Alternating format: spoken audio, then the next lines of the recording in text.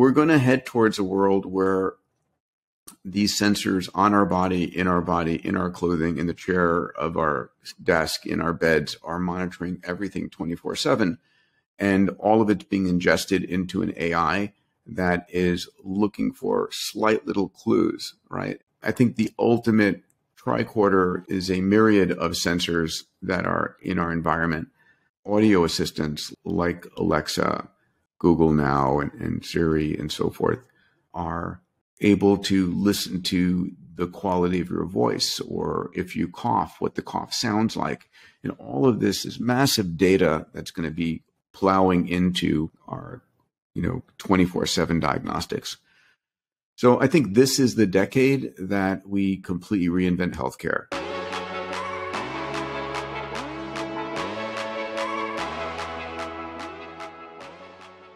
Today, I'm extremely excited and honored to have a, a, chance to speak in person with someone that I've had the opportunity to spend some time with unexpectedly over the past year and um, who I admire and have admired for as long as I can really remember thinking about technology. And uh, someone who's now an engineer and has had a chance to work in a few of the industries that Peter talks a lot about, um, I can say that he has predicted many of the trends that I got a chance to be a part of, which was quite exciting. So, uh, Peter, thank you for joining us. I'm really excited for the conversation. Hey, Josh, pleasure to be here a fan of what uh, what you and your team have been building at Levels, uh, a user of it, and uh, someone who thinks the technology is uh, important for our increasing health span. Well, I think uh, you know, given where you've invested your time and attention, uh, you, you, really do mean those words, and, and that's something that I really appreciate as well. Um, your support has been tremendous as we're working on Levels. But you know, I think I want to just kind of start off because this is a very interesting moment in time. And uh, your most recent book, which was released in 2020, called The Future is Faster Than You Think How Converging Technologies Are Transforming Business, Industries, and Our Lives. So, this is a little excerpt from that. There's little doubt that the decade to come will be filled with radical breakthroughs and world changing surprises. Every major industry on our planet is about to be completely reimagined. For entrepreneurs, for innovators, for leaders, for anyone sufficiently nimble and adventurous, the opportunities will be incredible. It will be both a future that's faster than you think and arguably the greatest display of imagination rendered visible the world has yet seen. Welcome to an era of extraordinary.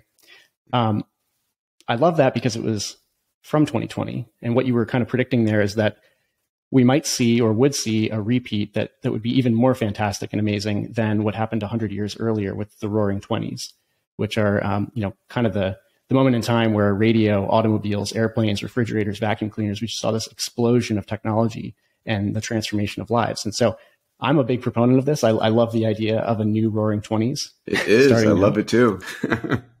well, what's amazing is at this very moment, there are two things that just happened essentially. And I, I really want to talk to, to you about these because they're so relevant to, to this statement and this uh, prediction.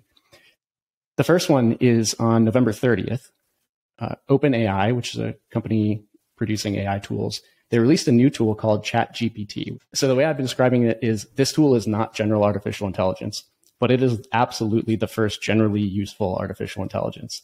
I, I would love to just hear from you. Like, what, what are your thoughts on this thing? Elon's calling it scary good. Yeah, I think scary good's a great, a great example of it. So if folks haven't tried Chat GPT, it is on it's built by OpenAI, which is a, a, company that's run by Sam Altman. It was funded in part by Elon Musk. Uh, Microsoft's invested a billion dollars. You may know it for uh, GPT and DALL-E and DALL-E 2, but ChatGPT is a generative search engine, um, so to speak. You ask it a question and it doesn't give you a link on the web to an answer, you know, typically what, what we think of as Google. It actually goes on the web and it synthesizes and gives you an answer. So this morning I was doing a, my, one of the podcasts, I, I have a podcast called Moonshots and Mindsets. And um, I was doing a podcast on, on Bitcoin with, uh, with Anthony Pompliano. And so just for fun, I went on to, on to uh, Chat GPT and I said, what are the five uh, most recognized benefits of Bitcoin? And it it wrote me this beautiful page long list of five and why each one was in fact. And I said, what are the five major risks that people are concerned about with Bitcoin? And he, and he gave me gave me that. Uh, another example is uh, a friend of mine. We were on an X Prize board meeting, and and and he went and the it's all about the prompt. It's like what what is a question you ask and how do you ask it? And so he said, write a poem about uh, X Prize uh, helping uplift humanity or something like that. And it wrote this incredible poem. It was like, I mean, if you you would have hired a poet and you know spent some amount of money. I'm not sure how much poets get paid, right? But uh, and waited, you know, a day or so, and you got something back for free in uh, you know in a millisecond. Um, people have used it for uh, you know design advice for their home, and then you can take the output of of Chat GPT, which is uh, words, sentences, paragraphs, and you can then put it into uh, Stable Diffusion uh, or DALL-E uh, and have it create a visual uh, representation. If you're, you know, I saw mm-hmm. someone who was like, I want to create a living room that's super, you know, fanciful and open mm-hmm. and bright, you know, and it said, write me a description of what that room would be like. And it wrote this long description and then, and then it used, I don't know if it was Stable Diffusion or uh, what it was, but it generated these photorealistic images of the rooms. And it's like, holy shit, that's amazing. Incredible visuals. Yeah. yeah. By the way, I have two 11 year old boys, and uh, this thing is going to destroy a, stu- a teacher's ability to give kids homework because, right. you know, it's like, write me an essay about this, or here's the math, math question. You put it in and it will answer it for you. So, I mean, it's a it's a fascinating uh, future that is moving super fast, right? I mean, to come back to levels, uh, the other thing you can you can do is you can say, here's the here's the component. This is what I have in my refrigerator. I want to have a low glycemic dinner. Uh, mm-hmm. what do you recommend you cook? I, I cook for myself. I mean, it's exactly. that that scary crazy you know, can give you those personalized recipes. I did the exact same thing. Like, here are my ingredients. I have this, I have 30 minutes. Give me something personalized. It can do that. It can teach you calculus at, at whatever pace works best for you. I mean, it can debug and write code. It, it's, it's really like this thing shook me when I, when I tried it for the first time and I spent yeah. some time with it. And, uh, you know, I really want to dive into some of the implications there, but I also want to tee up the second of the two big changes that have happened. You know, I think, I think it's safe to say that anyone I know who cares a little bit about technology has been surprised at ChatGPT, right?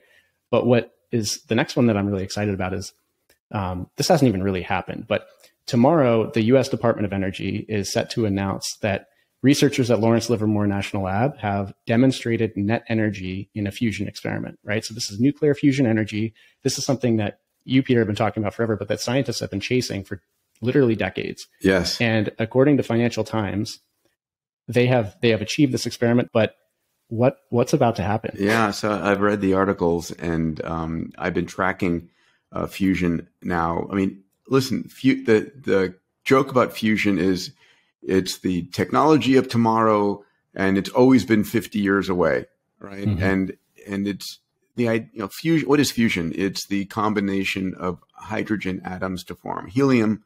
Uh, it's the reaction that goes into the sun and when you put two protons and two hydrogen atoms together to form a helium nucleus, uh, there's a small amount of the mass that is converted into energy, according to Einstein's famous equation, E equal mc squared. But since, you know, c, the speed of light, is so big, a little bit of m makes a lot of e. so uh, right. the, our sun is a fusion reactor that's 93 million miles away, and all of solar energy is based upon uh, you know, the fusion reaction in the sun. So, you know, people have for decades uh, said, I don't want nuclear power. And we have, I mean, it's a shame because nuclear's gotten such a bad name from Fukushima, Three Mile Island, um, uh, uh, Chernobyl, you know, mm-hmm. the three most famous failures. But those were old style nuclear reactors and they were fission based reactors where you're taking uranium and splitting it uh, to make into smaller nuclear atomic number uh, atoms. And again, in that process of splitting it, some some mass goes into energy, but it's it's radioactive. Uh, the containment of that is radioactive. The products are radioactive. The uranium is radioactive, and so you you have a lot of waste. Um, and it's a shame because the new generation of fission reactors are fail safe. When they fail, they're still safe. And I, I think we've been decommissioning reactors and stopping them, which is a problem. Mm-hmm. But the good news is fusion is not radioactive. You don't get a radioactive byproduct. You get just energy. Um, and the potential is, you know, I talk about an abundance of energy. What we have the potential for here is a squanderable abundance of energy. Uh, and we know there's a direct correlation between the amount of energy a community, a nation, or the world has and its economic prosperity. So when we went, you know, energy in the world used to be muscle, used to be human muscle, and then oxen and horses. And then we went to uh, water wheels um, powering our grain mills. And then we went to coal and then oil and natural gas and now solar.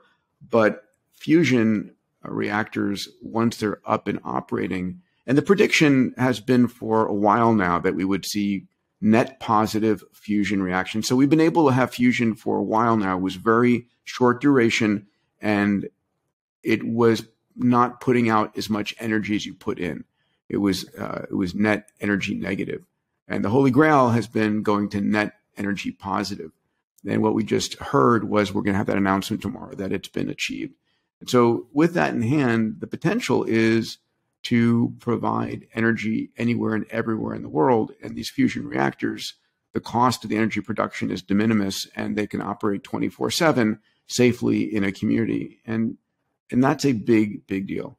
Yeah, thank you for for summarizing that history because that that's exactly where I wanted to go. Is just um, you know, fusion has been on the, the table, sort of in the background for so long now. It, it was the the hot thing for for decades, I'm sure. But in my life, it's been it's kind of just dismissed as um, you know you might as well call it cold fusion, which is where you, you don't even need to manage incredible heat and temperatures. But um, you know with with this announcement, I think what you just described the the abundance concept it, it sort of breaks our brains to imagine having enough energy that you can ethically and morally waste it yeah, I remember when I was a kid, uh, my my parents were always like, "Turn off the lights, don't leave the lights on." You know. Now, listen, there's still going to be energy costs. Uh, there's still going to be the cost of of transmitting and and managing the um, uh, the reactors and all, but uh, the potential is for generating energy anywhere on the planet and what's called base load, right? Not only just peak energy um, anyway, it's it's incredibly powerful. And with minimal byproducts, yeah. You know, I think the um, the confluence of these two things, just in, in this moment in time, it, you know, like I said, we, we talked about ChatGPT, which again has an unassuming name, but what it what I think it represents is the potential for abundance of information in a in a useful in a in an immediately useful format. So you don't have to take a you know a Google link and read a reference that is formatted for an entirely different audience and then try to contextualize it for yourself it is distributed to you in exactly the format you asked for. And then that abundance of information combined with the potential for in the next few years an abundance of energy. And I'm just curious, you know, this this is these are exponential technology predictions you made a long time ago. Is this something that you you see actually happening? Are we about to see this revolution over the next few years? Oh, we have this... so many more revolutions coming. It's not funny. um, uh, and listen, when there's a moment in time where something becomes possible, and then a moment in time when it becomes distributed, right? The old uh, William Gibson who says, you know, the future is already here; it's just not, you know, equally distributed. So, uh, ChatGPT, by the way, uh, has gone from zero to a million users in five days, and you know that is the fastest growth of any product out there ever. Uh, you know, I think Facebook went from zero to a million users in like a year or two years. And we see the speed at which this stuff is accelerating is really is incredible. But AI is coming, um, and we've seen just a peek under the, the covers. Right, we're going to have some version of Jarvis, and I bring it back to uh, to health. Uh, you know, we're going to have an AI that you give permission to watch what you eat. uh, to listen to your conversations, to monitor your blood chemistries, you know, the future versions of, of levels technology that's not only monitoring uh, blood glucose, but, um, you know, 30 other parameters. And all that data is uploaded to your AI constantly. And your AI is advising you on, on what to eat. Uh, maybe eventually your robot chef is making things that it knows you enjoy, but is optimized for what your blood chemistry is at the moment. You know, you need more vitamin D, you need more, you know, you know, certain proteins. I mean, that's an exciting future that is coming. The other thing we've seen recently, um, you know, if you're looking for the best of 2022 in the exponential tech world, uh, is we saw Optimus uh, announced Tesla Bot, uh, this is a humanoid robot uh, that was unveiled and uh, is supposedly going to be less than the cost of a car, under twenty thousand dollars. But you know, imagine a, a humanoid robot powered by AI that can go and do the things you need. You know, go rake the leaves, go and fix the the leaky sink, go shopping and grab me food. I mean, it's a it's a future of uh, of robotic labor to a large degree. We also, I, as you mentioned, I'm the founder executive chairman of the X Prize Foundation, and we just uh, announced the winner of the our Avatar X Prize, and these are robotic avatars where the robot's not autonomous. There's a human driver at a distance uh, on a, with a VR helmet and a haptic suit operating inside the robot at a distance someplace. And so that's that's here. Massive growth in the whole biotech, uh, gene editing, writing, reading world. Amazing. It's moving so fast, and I think you know many of us recognize those um, the avatar as sort of a mechatronic suit sort of configuration. Yes. Which I can't wait for for them to be battling each other. right, exactly. I want to get to the healthcare stuff in, in a minute, but I just want to look back a little bit, you know, because this, this next, let's say this next decade plays out the way we hope. And, and we see true exponential technologies, um, hitting the, the knee, right. And, and going vertical because we have this long linear growth pattern in any exponential technology. And then all of a sudden it, it seems to go crazy overnight. And we might be at that inflection point with a few things. What do you think about the last decade? So last decade, a lot of people I talk to, they, they kind of describe it as it, it known for the rise of social media, for, for software as a service companies, you know, where you're like solving an increasingly niche problem for an increasingly niche subset of an industry, um, e-commerce getting large. Um, you know, we also saw some impressive stuff. We saw DNA sequencing go exponential. We saw AI technology crack protein folding. We saw reusable rockets, uh, electronics and photonics. So the iPhone, you know, and the, and the miniaturization of things. How, how do you think about the last decade? How will you talk about it? I think the last decade was super exciting. So I, you know, I, I run a uh, a CEO entrepreneur uh, year long executive program called Abundance 360. It's the highest tier level of of Singularity University, and I've been running it now for 11 years. So every year for the last 11 years, I go into the program and I talk about. Uh, I contextualize it by saying, okay what was what was the world like 100 years ago and by the way 100 years ago the speed of technological uh, uh, progress was molasses i mean if you look at the breakthroughs like in the year 1915 1916 through 1922 it's like it's hilarious it's like vegemite was invented was a breakthrough in in in 20 in 1921 the water ski was invented with a board and some rope. That was a breakthrough wow. in the year 19. I kid you not. I mean, that's wow. the kind of stuff. And I searched high and low, and typically it's like five, six, seven things that that occurred over the course of the entire year that are that you don't even think of as a breakthrough. So that's one thing I've been doing for the last decade. And then I would look a year a year back, and then I would look, you know, three or four years forward. And every year I can guarantee you because I can put myself back in that mindset. Every year was exciting.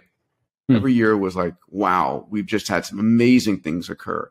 And we're just jaded now at what those amazing things were, right? Whether it was, uh, you know, getting, you know, a drone on Mars or, or uh, Falcon 9, you know, returning its first uh, stage to a successful landing, and then and then Falcon Heavy. I mean, and then going yeah. to the space station. I mean, amazing things over the last uh, decade. And one of the things I'm clear about is that the next decade, what we're going to see in the next 10 years, and I'm, I'm putting out at this very moment a, uh, a meta trend series where I mm. have looked at the top 20 meta trends for the year uh, 2023 through 2033. And folks can go to diamandis.com um, and uh, you'll have a chance to get my blog and the meta trend there. Um, but when I look at these, at these, at the next decade, we're going to make as much progress in the next 10 years as we have in the entire past century. That's the speed of the acceleration of the curve. And so it's hard to think about how fast things are getting. Um, and it's going to be AI and biotech and to some degree robotics that are leading the pack. And I haven't even mentioned what's going to come down the pack with quantum computing, right? Right. Um, one of the things at, at A360 this year is uh, I've got a guy named Jack Hidary, who's the CEO of Sandbox AQ, which spun out of Alphabet. It's their mm-hmm. quantum technologies play. Eric Schmidt's the CEO, uh, is the is the chairman. Jack is the CEO, and uh, I've had a preview of what we're going to be discussing on stage, and it's insane.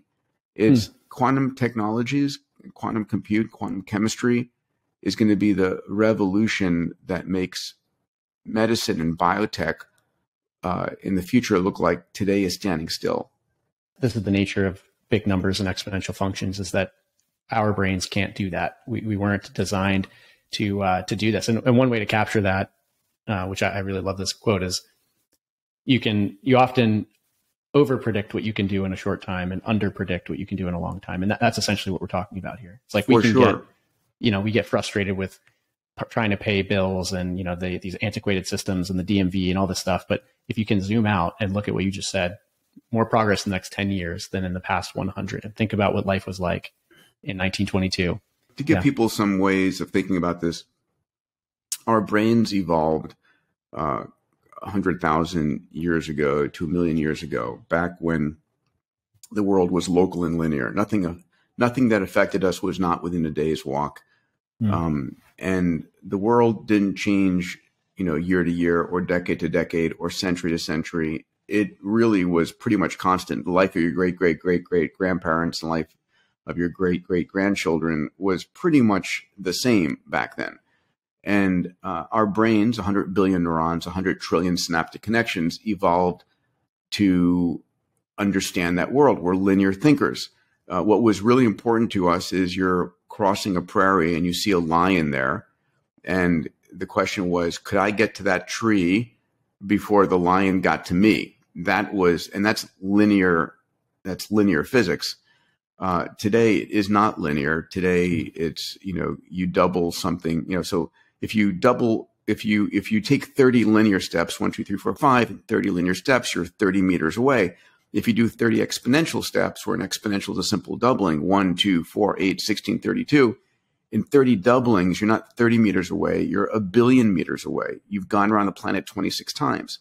And it's that disconnect between us as linear thinkers and this exponential world that really uh, catches people by surprise. Yeah, exactly.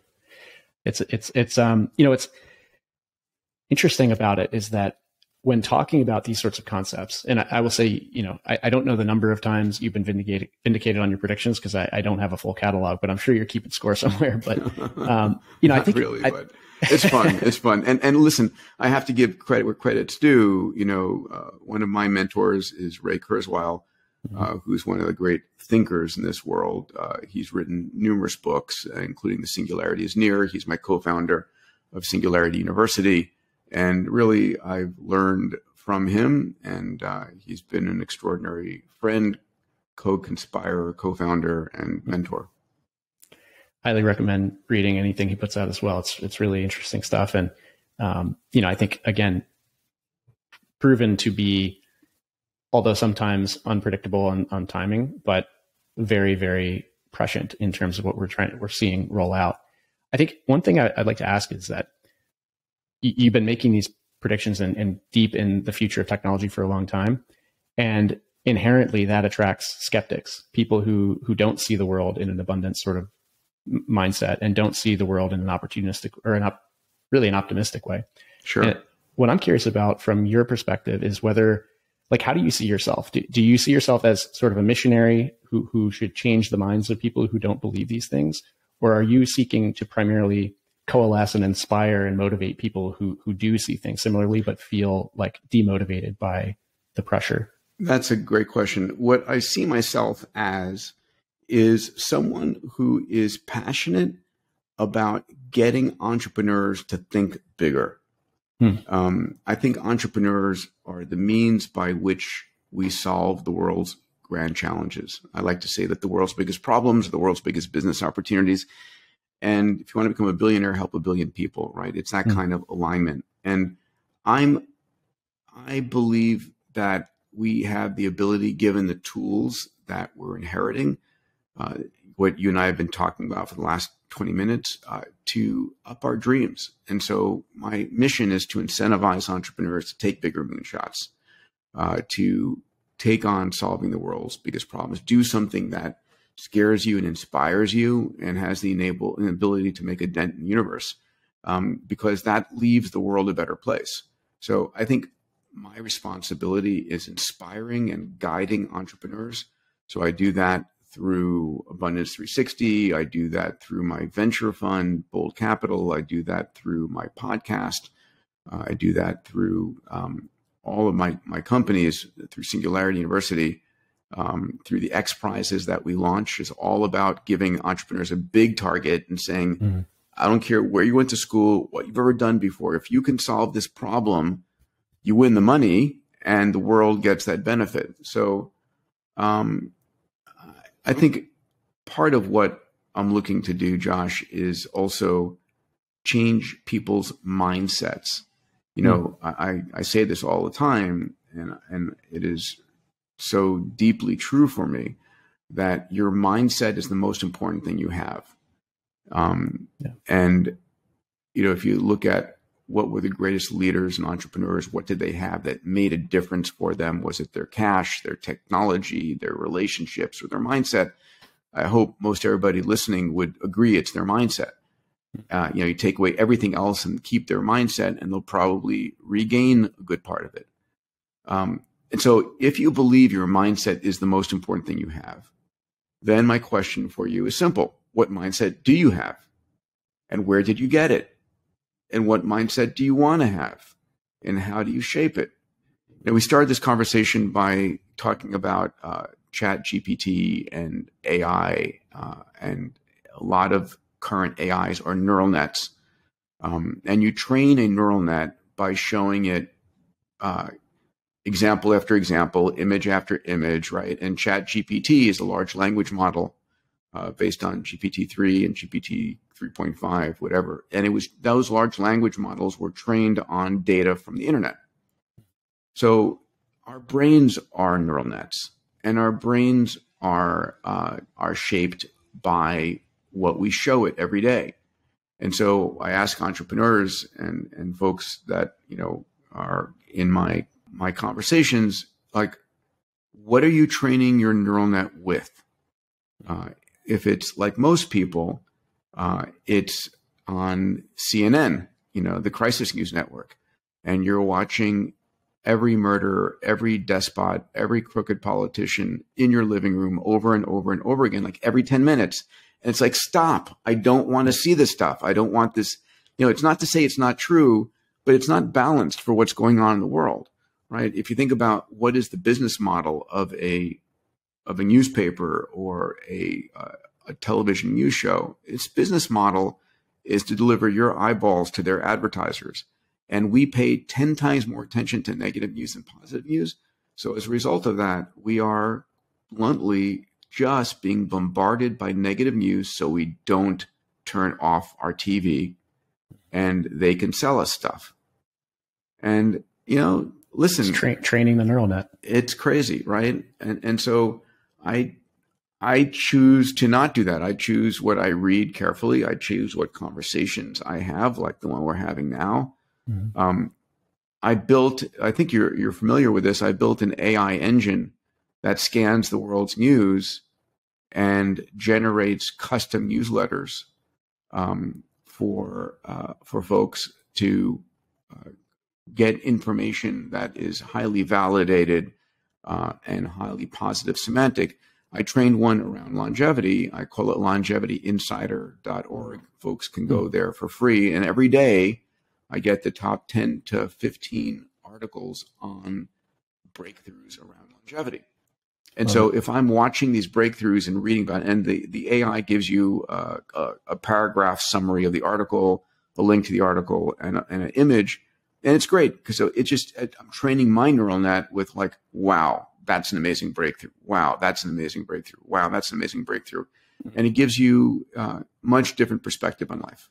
I, I absolutely love that perspective because, you know, we, we have a lot of heuristics around, you know, you are what you eat. And we have all these sort of like, one liners to describe how what we ingest is important. And I, I, don't even know that we take those that seriously, but the information diet conversation, which is increasingly being had, I think, thankfully, is such an important one because exactly like you said, I mean, look at what look at what we do when we train a neural net with information. Now we it can be an incredibly capable tool, but we can see that we can bias it very quickly by just having it ingest information of a certain source. And and what we've done, I think, with ourselves is we've we've biased towards stress and pessimism. Um, and unfortunately, it's a hard one to get out of. But I think the things, the tools that that work best for me are conversations like this. I, I have, I, I, see the most inspiration um, in in my own mindset when I am around people who have, all, you know, are, are a few steps further along the, the route towards a mindset of of optimism, especially around technology. Um, what else is there? You know, what, what do you recommend for people who are currently feeling that they do not have the mindset that it would take to to be positive about the future? So, great question. I mean, listen, the things that train your mindset are what you watch, uh, what's on your walls, uh, what you listen to, who you hang out with to a large degree. Right. So, um, you know, choose your podcast carefully. Hmm. Um, mm. And uh, I invite folks to moonshots and mindsets, and obviously the whole new level that we're uh, in today. What you read is important. Um, there's incredible books in the whole longevity world. You know, David Sinclair wrote a book uh, called um, Lifespan, which was excellent. Tony. Robbins and I wrote a book last year called Life Force. Um, and uh, uh, Mark Hyman has a book coming out. There's a whole bunch of, of great books out there. Uh, and then uh, you know, you're the average of the people you spend the most time with. So who in your community is super positive and has a mindset that you want to emulate? And how do you spend more time with them? I mean, that's basically it uh, mm-hmm. at the end of the day. And then what I tell people is don't watch the news. You don't need to. You honestly do not need to. I will look at Google News um, for 10 minutes uh, mm-hmm. to figure out is there something going on in the world I need to know about? And I, you know, my mom calls me when there's something that I need to know about as well. Otherwise, I'm not going to, you could, they could never pay me enough to watch the evening news or, or read these papers. I mean, if you it's, pick up tomorrow's newspaper and you count the number of positive stories and negative stories, right? It's 10 to 1 negative to positive minimum, if not yeah. worse. Yeah, I've I've been on a no news diet myself since really since starting the, the company and um, just not not really it started off with just not having the time and realizing where my attention was going. And then it's it's sort of translated into a recognition that the quality of the information is is proportional to or probably you know there's a multiplier here to the amount of time it takes to produce. This is something that my co-founder sam talks about is that you know a book takes a lot of time. Somebody invested thousands of hours to pull that information together and synthesize it. And podcasts take take many hours and um, you know movies and, and things like this. But Something that doesn't take a lot of time is breaking news that is intended to really just generate clicks for advertising. That is something that is specifically not, you know, there's this Lindy effect concept where the longer something is around, the more likely it is to stay around. Well, you know, the news cycle we have is less than 24 hours. And so keeping that information, uh, just keeping your guard up and the filter strong for the information you're bringing in. You know, for me, I don't need any news platforms on my phone because uh, I have conversations and people filter out the information that's most relevant or most important. And a lot of it ends up, you know, I, I will know about things like a fusion energy net net demonstration without needing the news app. Um, on the people side of this, what's really interesting there is is that it's it's information sources you can get without any human sort of interaction. But then there are the people that you're surrounded with and you choose to interact with. Um, Elon used to talk about Elon Musk used to talk about people as vectors, and everyone has a vector, and they're basically you know it's a a vector is is basically a line with direction. It's like you've got you know, basically you're moving in a direction specifically, and if a vector isn't aligned basically if a person is not aligned with the direction that you're trying to move in, they're they're moving you in, in a non-parallel direction. So that's a little bit of a complicated way to describe it, but essentially it's like Elon would select for people whose vectors were pointed in the same direction. He he didn't spend a lot of time trying to change people's minds. It was you either understand why we're here, what we're trying to accomplish, or you either understand the inherent value in what we're describing, or I'm going to find someone who does. Yes. And that's kind of what I'm what I'm getting at here is how do you select for people you work with? Does that resonate with you? Is that, hundred percent? Yeah, it's it's like um, yeah, uh, especially um, the people in my in my organization. It's like I'm clear that uh, that we have a massive transformative purpose, and I one of the things I teach at Abundance 360 and I talk about in my books and you know abundance bold and the future is faster than you think the three books that sort of are around these mindsets is the most successful companies on the planet have a clear mtp a massive transformative purpose. And it's set early on by the founder or founders and the goal is to hire people that are on board in that vector that mtp it's clear what mm-hmm. we're doing why we're doing it and where we're going and um, if you disagree with you know what we're doing, why we're doing it, where we're going, then this is probably not the right place for you to work because you're unlikely to change it. Now, um, when you're in the organization uh, and you're helping make that that future happen, yeah, new data comes along and the organization can can move its uh, its vector slightly. But I've never seen uh, a company where the vector, you know, moves 90 degrees. A few degrees, yes. If mm-hmm. it's if it's moving that dramatically, then it's probably falling apart. Yeah, that's you know, I, I think when people are trying to figure out where to where to look for inspiration, who who to work with, or or who to bring on to a team if you're building a team. Um, yeah, this one's it's tricky because you there are so many people who have credentials and have obvious capability and are super intelligent. But this element of, of sort of vector pointing and trying to change someone's mind, I, I like what you said. You like to change mindsets, not not minds. I think an organization has a mindset, and uh, a team has a mindset, and uh, if you're counter to that mindset, uh, you're going to be a lot of wasted energy. Um, and it's uh, you know when I've when I hire a new member on my team, I typically have a, a 90 day rule, which is mm. come in, do the best you can. I'll do the best I can for you. And in 90 days, if it's not working, you leave. And so at the end of the day, what I'm looking for during that 90 day period is when this person is in the room and they're talking, do I wish they'd shut up? you know, it's like, yep. I don't want to hear you. I don't want to hear what you have to say and so forth. That's not a good sign. On the other hand, if they're in the room and I'm not hearing their opinion and I want it, you know, that can be trained up. It's like, you know, I want to hear your opinion.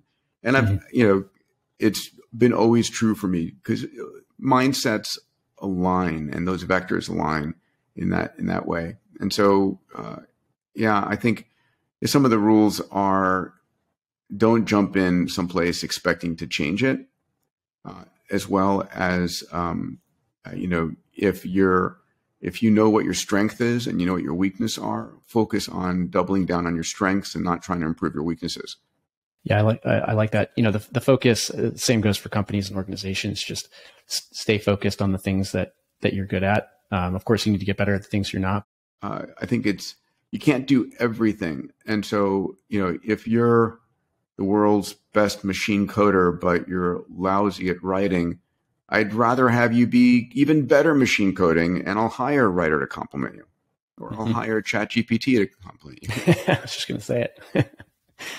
um, yeah, well, that, that's awesome advice, and I think the the 90 day rule, you know, it's it's mutual. If, if people don't feel, you know, I, I, think people need to feel more ownership over where they are, who they're surrounded by, what teams they join, and um, and you know, really, I, I think there's a there's no benefit to languishing somewhere if you don't feel like you're being heard or no one wants to hear you.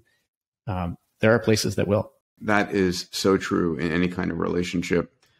But you know, fire fast and hire slowly. Yeah, yeah love it. I want to circle back to in, in the last few minutes healthcare because we haven't talked about it yet, and I know we both have strong opinions.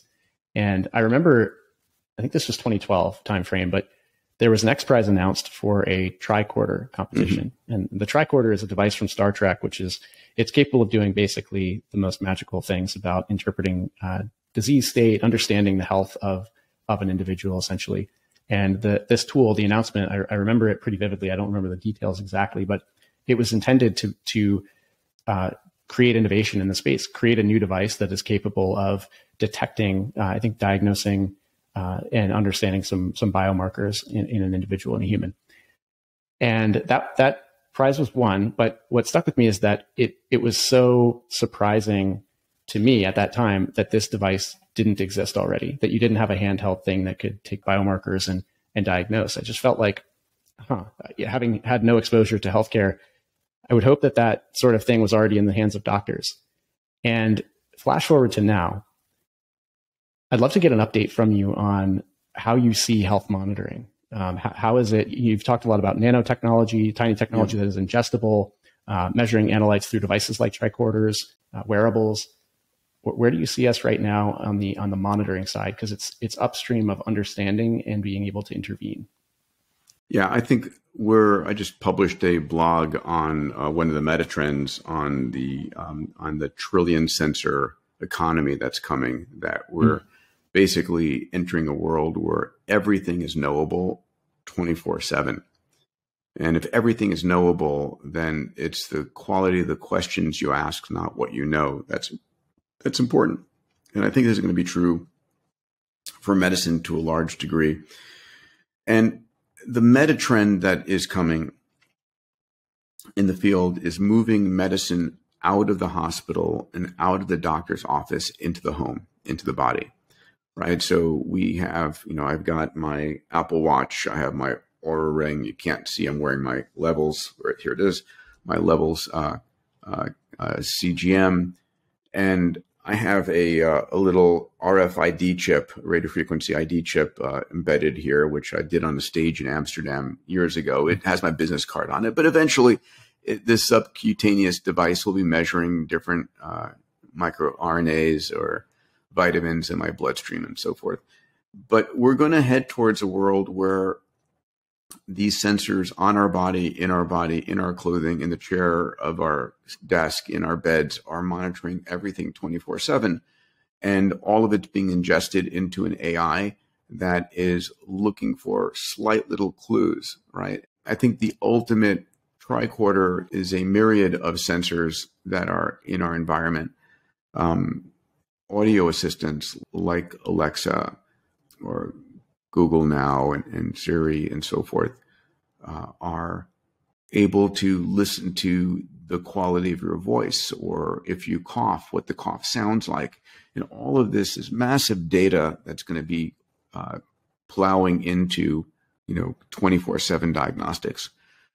So I think this is the decade that we completely reinvent healthcare. I think it's ready for massive disruption. And so we're going to be doing that with healthcare. It's going to make it available to everyone and it's going to be a lot more efficient. And as all the data is aggregated and it begins to, we begin to learn from it, um, it's just going to accelerate how fast things are moving. Yeah, I, I couldn't agree more. I, I certainly believe and uh, want to see as an individual, but also as someone who, who feels like the incentives are broken. I want to see the individual become responsible for and empowered to own their healthcare. And I think there are ways. I'm really excited about the trillion sensor future and about moving from uh, the hospital into the home. but I'm curious if you have any thoughts, uh, sort of a, a, closing thought here on incentives specifically and what we need to look out for in in this fast moving future that we're entering. Um, how do we make sure that we end up with a world where we're not being sold, you know, tar- more targeted advertisements based on our bio yeah. biomarker. So we are going to have that in our future, and we're going to have the pros and cons. I think we're going to have an AI that you can use to filter through that and shield things for you, right? Um, in the interim, we have humans that do that. If you're able to have a great executive assistant, um, uh, who filters your emails and shows you which ones are important. Eventually, your AI will cross correlate, you know, knows what you want, knows who's in your database, knows who's a, a known, uh, uh, you know, spammer and mm-hmm. can, can filter that stuff for you. But mm-hmm. I think it's going to be the combination of, of AI uh, and a massive increase in sensors that are transforming all of this. Uh, and it's coming fast. Um, and there are going to be a lot more wow moments uh, in the in the years ahead. Uh, you know, the idea of the singularity, which Ray talked about, is the moment in time when uh, the speed of change is so fast that it's impossible to predict what comes next. Uh, and you know, his his date is early 2040s for that, which isn't too far away. That's 20 years from now.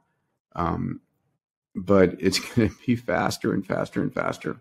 Well, Ray is a, a great person to check out. And in this last question, I, I, would love to hear who else is out there that people should be paying attention to, who are, whether they're particularly prescient, knowledgeable, especially maybe the people that most don't know about who are doing amazing things out there. Sure. I mean, uh, dear friend Salim Ismail is uh, the head of exponential organizations. Um, uh, he was the first president of Singularity University. So his group is called EXO Works. EXO is Exponential Organizations.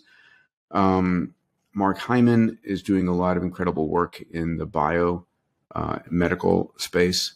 Um, I mean, there are just a, a multitude of, of folks. Um, I don't know where to start, honestly. I'm caught sort of flat footed on that. Start with, um, with Peter's RSS feed of, of the optimistic longevity articles of the future. Yeah, yeah, for sure. And I hope uh, hope folks will will check out um, uh, longevityinsider.org. I think uh, you'll enjoy it. It's free. It's a public service just to get people to understand what's coming because it's an extraordinary future ahead.